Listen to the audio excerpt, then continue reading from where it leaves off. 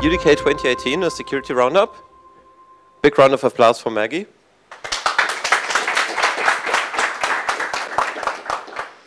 Well, welcome back. I'll do my best not to put you asleep after lunch. Um, my name is Maggie Jauregui. I work for Intel for a team called Platform Armoring and Resiliency. Today we're going to talk a little bit about some of the features included in UDK 2018. Um, a few disclaimers. This isn't an exhaustive list. It's just some, some of the ones we want to highlight or bring attention to. Not all of these were released this year specifically, but, but are included in this release as well. Um, one of my favorite quotes is, there's no such thing as security, only varying degrees of insecurity. So um, none of these features are meant to be one size fits all or claim to be unhackable. The, this is part of our continuous effort to improve Tiano Core.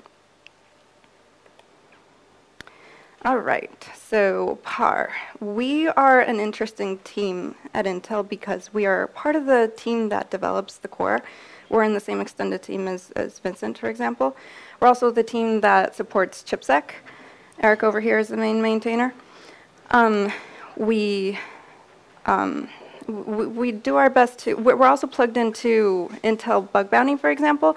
So some of those submissions may be reproduced by us, propose, proposing fixes. So, so the creation, um, you know, we, we, we try to do a little bit of protecting, detecting, and recovering.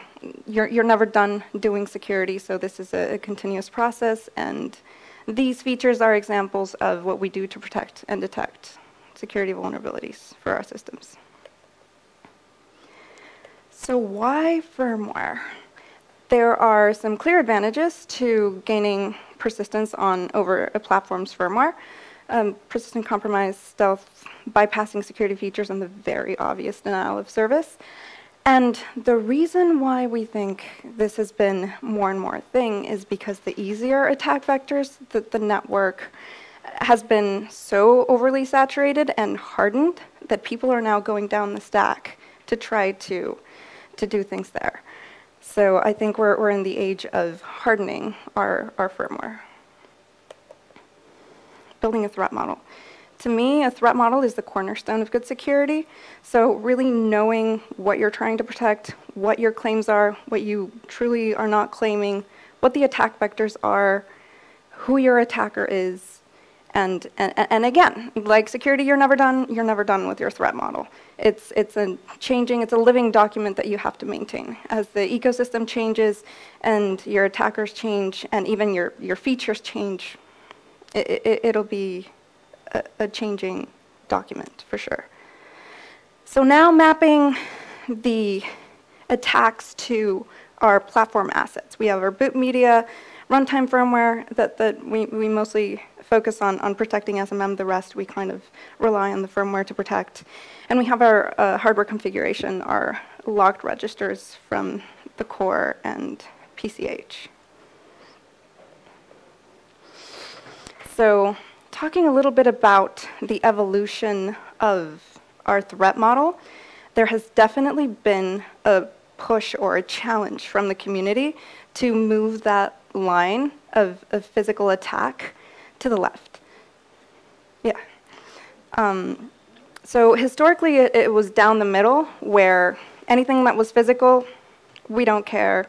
If you have physical access to the system, then you can explode it, hammer it, you can do worse things, you can just steal it. But, but, but more and more, and like Trammell mentioned in his keynote, for example, bootguard is all the way down to open chassis, right? So for different features, the line is in a different place. And, and, again, everybody has a different threat model, so th this is a fuzzy line, but the challenge is, uh, seems, the trend seems to be to challenge that physical access line. Um, here's some of our interfaces. We have hardware and firmware. We have our registers for processor and chipset.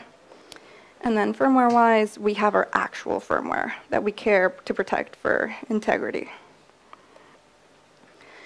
And together, it's a complex picture of, we have our assets, we have our um, attacker model, and, and, and we have the never-ending quest to protect, detect, and recover. So this was just a small intro to platform security to segue into a few examples of attacks and features that we've implemented to try to protect against them. Starting with uh, pretty recent attacks that have been presented at Black Hat, DEF CON, recently by Eclypsium. We have an Eclipse site on site. Um, so this is interesting because for the first time, we're seeing remote firmware attacks where you can run arbitrary code on a platform remotely. Uh, my favorite was the ASCII calc pop.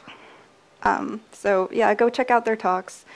Um, basically, the problem here is if you're doing HTTP and non-HTTPS, you're vulnerable to spoofing, man-in-the-middle attacks, or denial of services because you can't authenticate and verify that you're actually connected to the server you think you're connected to.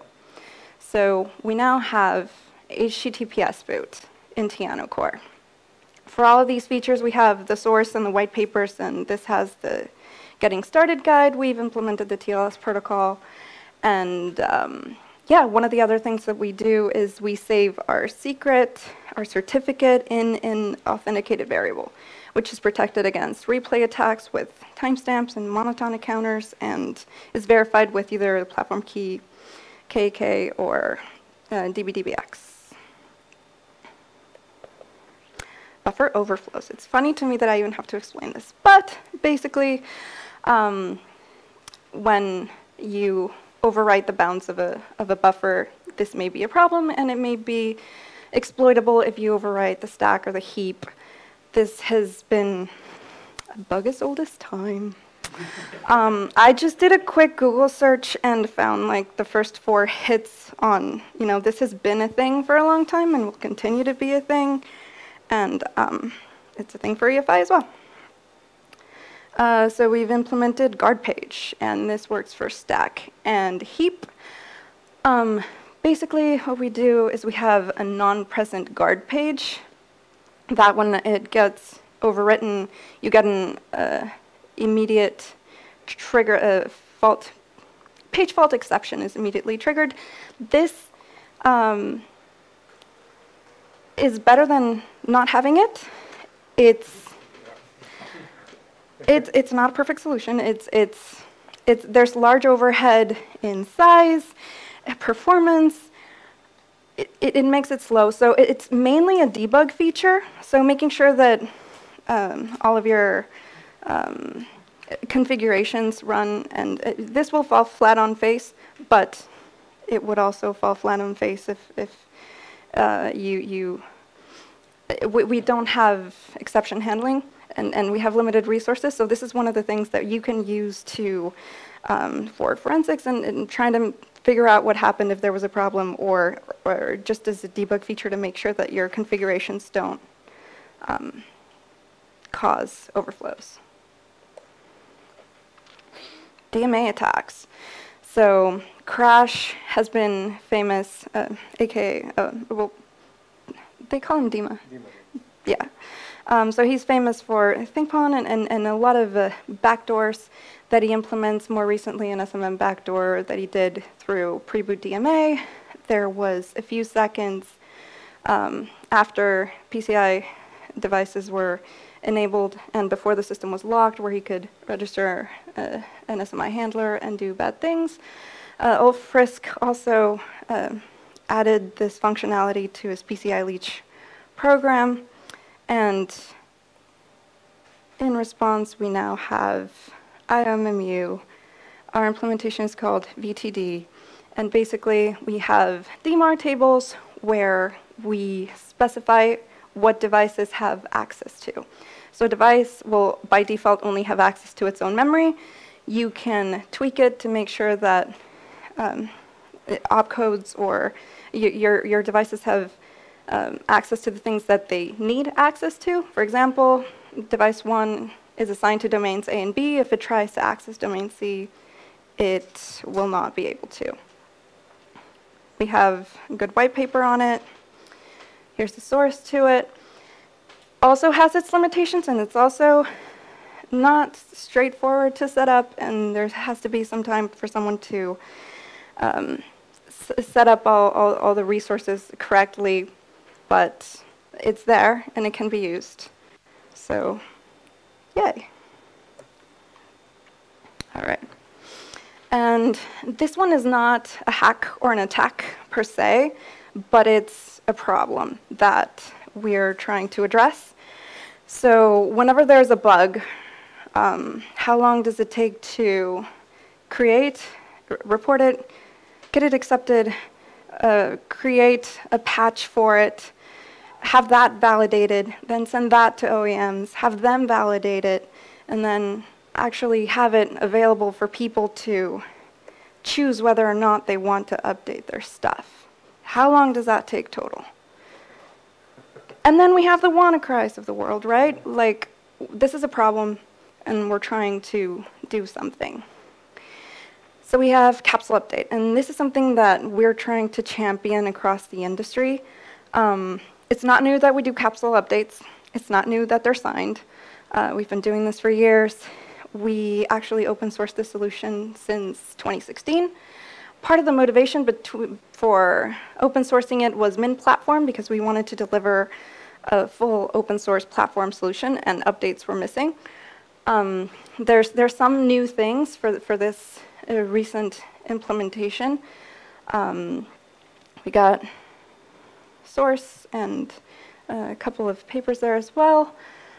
Um, what else? Yeah, so basically what we do, we have a capsule uh, header that uh, creates an FMP protocol uh, that authenticates the payload, uh, does the update to the flash, and if it succeeds, it registers the GUID to the ESRT table.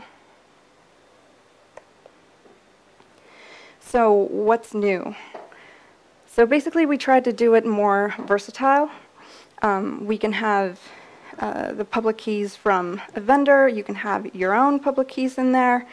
Um, we've made it so that you can update only a piece of, of the firmware and not the whole thing.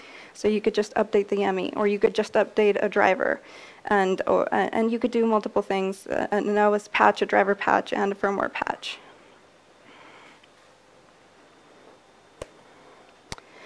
Bigger picture, we're trying to make this a push model um, through LVFS and FW, fwupd.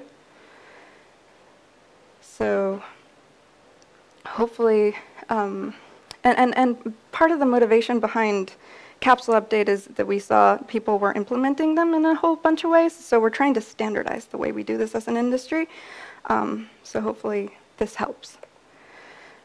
Um, a little bit of promo for the event later. So we don't expect people to just take our solutions and trust it. And so we, we, we want to take advantage of the fact that this is open source and invite the, the community to challenge it, to test it, to tell us if they think we can do something better.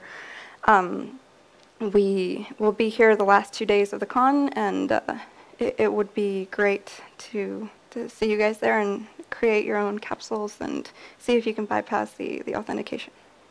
Uh, we invite uh, people who submit vulnerabilities to the Intel Bug Bounty. So, um, yeah, that, should be good. I think that's all we have. Yay.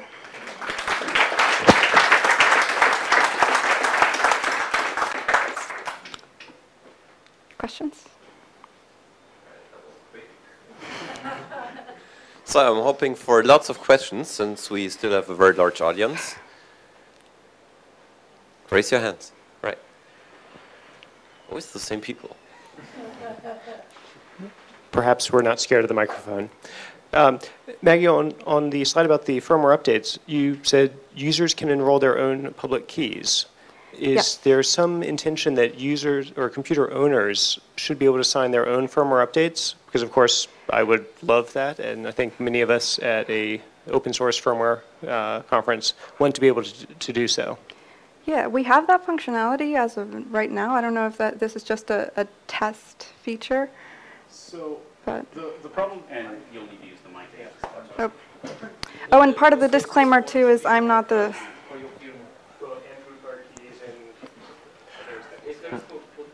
Right, so if you have boot guard, you're going to have many problems. If you don't have boot guard, you may have to do an initial one-time replacement of the firmware so that you can enroll your own FMP drivers and the appropriate keys. But then, once you've done that, then you can, then you've got the appropriate public keys in your firmware, and then you could start doing signed updates from that point with your keys. And by one-time replacement, you mean? Yes, yeah, Mr. Clippy and, yeah, rewrite. one-time replacement. More questions? So if we have chipsec guys here, so um, I submitted issue about MicroPython support. And Yep. would like to know what's your take on that. Well, we're here.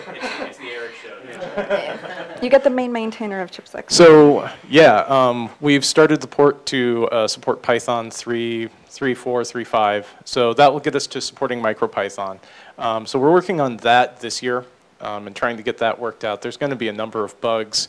Plus, there's a lot of stupid things that we have to fix, like, you know, switching from the old class model to the new class model, which affects every single, you know, test in the uh, test in the test suite. So needless to say, there are a lot of opportunities for error, and um, we're going to generate a lot of bugs. So we do have a, um, we do have a branch set up for that. We're working on it. Um, we want to get that done this year. And then MicroPython uh, will be, uh, it's Python 3.5, correct? Yeah, let me, 3.5-ish. refinish, let me But- give a background. So, For, for those of you that don't know, um, there's been a Python 2.7 port uh, for UEFI for quite some time, and the goal of that, uh, yeah, I was getting to that. The goal of that was to be able to take Python scripts um, and execute them at the UEFI shell, because um, firmware testing is obscure enough as it is without introducing yet another shell script, which we did, yet another C programming style, which we also did. And the QA people don't really know how to do that, but Python's really common in QA and automation environments, so we were supporting that. And ChipSec takes advantage of that so they can execute the same scripts in pre-OS environment and OS environment. It's based on Python 2.7. All good things must die. That's got an expiration date of 2020. So we would rather do this work now. We, I, I worked on Y2K personally. I don't want to wait till the last minute to do this sort of thing. So uh, we've, instead of porting to the full Python 3 tree, we looked at MicroPython as an alternative because it's Python 3 compliant, but also it's better for a constrained environment like a firmware environment. You're not going to be doing crazy multi-threading in these environments. You really want something that can just get in and execute a small memory footprint. So the MicroPython port is available in EDK2 staging. That's where we put up branches before we consider them to be ready to go to public, like full public. Once that branch has gone through its sort of submission phase, we're going to take the MicroPython uh, submissions and put them in the main MicroPython tree, something we didn't do with the original Python tree. So that'll be part of the main project. We have to work through their process and submission. And then everything else, the testing framework we built around it that has all of the, you know, stuff you need like the accesses UEFI and hardware resources, that will remain part of E EDK2. And so during that transition, this is when Eric and company are going to be working on getting Python 3 to be the scripting style uh, for the chipsec examples, because you can't just take the Python 2 stuff and run it directly. So yeah, after we get that uh, Python 3 support done, um, we're going to go ahead and uh, we're going to need, we'll have to write the OS helper, helper level. And at that point, um, uh, it should be fairly, that should be fairly easy because we're no longer having to build our own stupid version of Python 2 and have all of our hooks in that way. We're actually going to be able to hopefully submit them so that they're built into um, MicroPython, and you'll be able to grab that and then just run chipsec um, on top of it without any special modifications. So that's going to start, well, hopefully we'll start that um, at the end of this year, and depending on how hard it is to get the uh, OS helper in, we'll get that done hopefully early um, Q1 of next year. And also along the lines of chipsec, there's the talk and a workshop on Friday. So be sure to check that out. excuse, excuse me. so um, are you willing to accept for chipsec, uh, for example, some OS helper layer for I don't know BITS or bare metal stuff that can run onto? Okay, that's great. Please.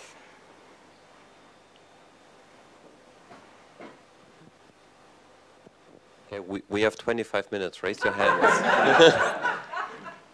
You shouldn't be giving so much matcha. That, that stuff's. Yeah. It's too much.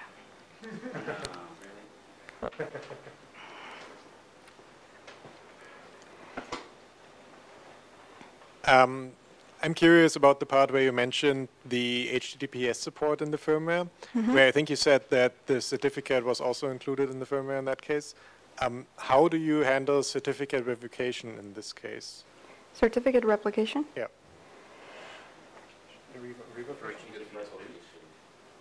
So that's why. I'm- Revocation.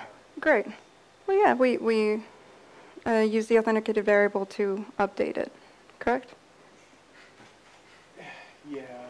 The other disclaimer was I didn't implement these features, but I think the revocation model for HTTPS is different from the one for secure boot, so that, Mr. Mike. Yeah. Um, So the questions about revocation, if you you look at the standard model for Secure Boot, there is a, um, there are two databases. Uh, There's a DB, which is the list of valid hashes, and then there's a DBX, which you can use for essentially revocation. Right. Um, That's updated from the OS level, so any OS that has support um, and you get OS updates for, uh, has the ability to publish to DBX. Um, The thing that we would probably have to take offline to check on is if that revocation is also the one that r- works with HTTPS, because that uh, enrollment, certificate enrollment process for HTTPS is a little bit different. So that's probably one to, you know, throw that question up on the EDK2 developer mailing list or, or um, pass it on to one of us. But the mailing list is always a good place to, to literally and figuratively hash those things out.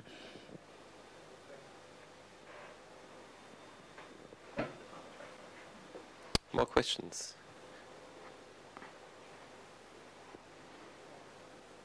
I'm a bit astonished that TLS 1.0 and 1.1 are still supported because they have severe flaws. Are there any plans to implement TLS 1.3? Because the RFC was standardized uh, last month. Hmm. Yeah. question for Jaylen? Yeah. Yeah. For- for the developers.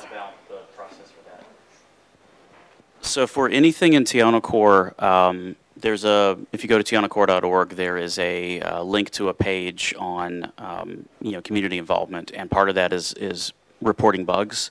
Uh, so we use Bugzilla for that, um, rather than the GitHub process, because it allows us to have a, kind of a secure black box for things that fall into, um, please don't zero day us categories. Uh, but there's also a feature request category. So TLS 1.3 sounds like a feature request. So that can be thrown in there, and then that way you're, the, the advantage of doing a feature request through Bugzilla, through, uh, versus emailing one of us or finding us at the reception tonight, is that Bugzilla remembers things in the morning. And also, it's, as long as you're not reporting a, uh, something that falls under security embargo, it's public, so it's a visible workflow, and everybody gets a chance to, uh, talk about it and throw their two cents in. So we all have Wi-Fi. You know what to do right now. Create and plus one. Then check the page. I want the bandwidth. That was sort of the expected answer to TLS 1.3, which is absolutely okay. But the other part of the question, um, what about TLS 1.0 and 1.1, and especially version negotiation? We have seen a lot of downgrade attacks to web servers and so on. That sounds a little bit dangerous. Can you actually shed some light on that?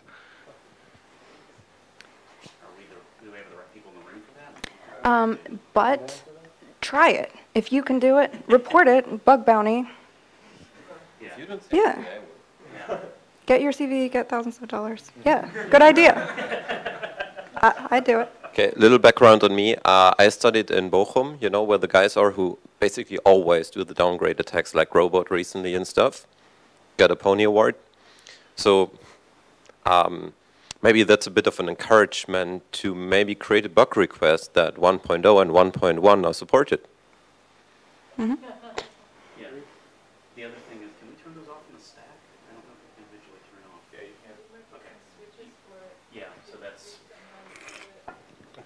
So the nice thing about the network stack in, in uh, Tiano Core, which you may consider a bad thing about it depending on, on how many of the buttons you push, it's super modular. So you could probably chuck TLS 1.0 and 1.1 in your configuration and only support TLS 1.2. Um, now, of course, finding those buttons, well, we're having workshops on Friday and Saturday, but we, we can, the, the network stack is extremely well documented. I'm going to give credit to J1 and the team uh, in China that did that work. Their, their wiki documentation of that is very, very good. So I'd probably poke down on that and see if you can figure out, at least on your implementation, how to, to knock those things out.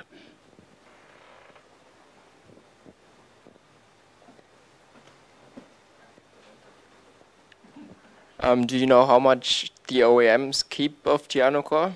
Because you said now there are many buttons. How many buttons do they push? Maybe wrong. You want a real life example? Yeah, there's, there's lots of those. Um, so, yeah, getting down to the actual OEM and how much of you know the uh, code that they actually keep and how many buttons they push that are incorrect it's there's a lot of hand change. The code changes hands a number of times um, because in most cases, we'll do our best to validate a reference platform internally, and that code will go out to OEMs and IBVs and all, a number of other people, and they're all going to make platform decisions, and it just moves on and on. So the, it, the code changes hands. So yeah, it's very possible that you know someone is going to say, well, I don't like that feature, I don't like the security feature turned on because it makes my life more difficult, or it doesn't allow me to do something that uh, you know, I want my users to do, so they'll turn it off. And it's, you know, between that, you know, they're making feature decisions and they're making, you know, decisions about what their customers want. And so, yeah, a lot of things can happen between, you know, the beginning and the end.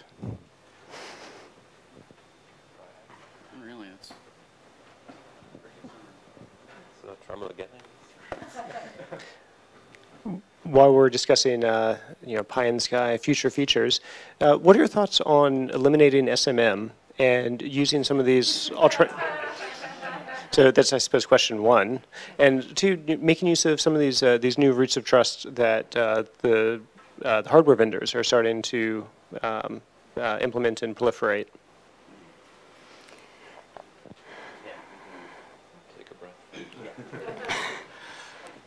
Okay, so first part on eliminating SMM. Um, stand up for that one, because I know everyone's going to stare, stare at me intently when we talk about this.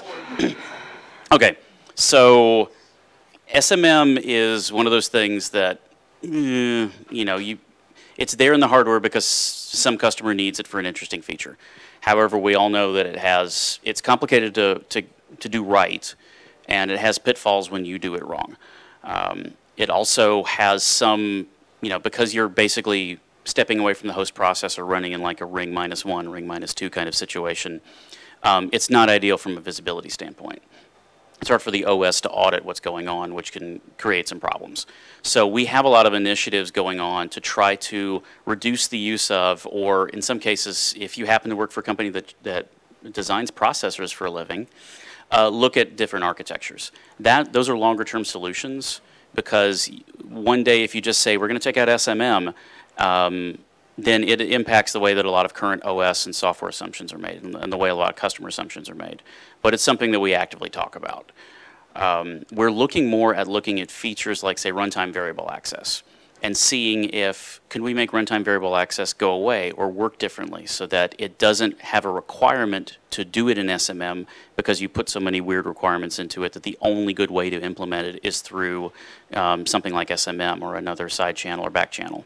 Saying side channel in this room is kind of dangerous. I wasn't talking about that different side channel. Um, that gets down to the second question where you're looking at different ways of doing root of trust. And those are really compelling. Um, and it's I'm not sure if that's a th thing. I think Vincent's approach, he was talking about earlier today, of code first, standard second, is probably the way to go with that because I, there's so many alternatives for that right now that I don't, my personal feeling, uh, I don't really think that we know which one works best for a general situation. Every customer that has put investment into coming up with a different way of handling root of trust has done so for a very specific business reason. Whether those match up with everybody else's, I think it's too early to tell. But have, it's, it's obvious, you know, the way that Intel does boot guard, for instance, that essentially is a root of trust preservation. So there's a lot of interest in making sure the root of trust isn't compromised.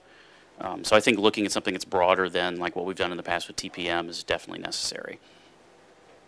But yeah, I, SMM, probably not the best way to do most of what we do with it. Uh, and I think there's a lot of concerted effort from uh, folks from a, a specification and an implementation standpoint, both to try to reduce the use so we can figure out how we can wean ourselves off of it.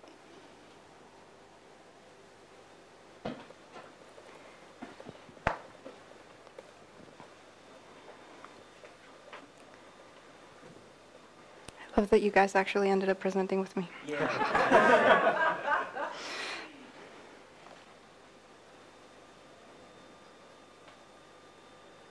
All right, thanks a lot. Oh. So close. Um, you said with the capsules, for example, you can update individual pieces of the firmware. Um, for example, the crypto library, if there was a patch for this, could you, because I don't think it's a shared library, you can just swap out. Can you maybe patch the crypto library on its own? Not by itself. Like uh, big segments of, of, of the firmware, like BIOS on its own or the ME on its own, but a driver, but not a small part. Yeah. Feature request.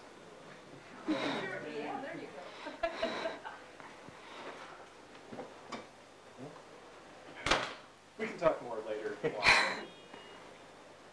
That may require perception beverages All right, I guess that runs up the roundup. Thank you very much again. Thank you.